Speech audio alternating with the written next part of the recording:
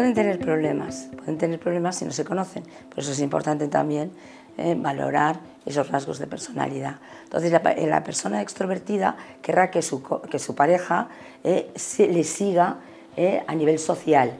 Y esto puede acarrear problemas y agotamiento para la persona introvertida.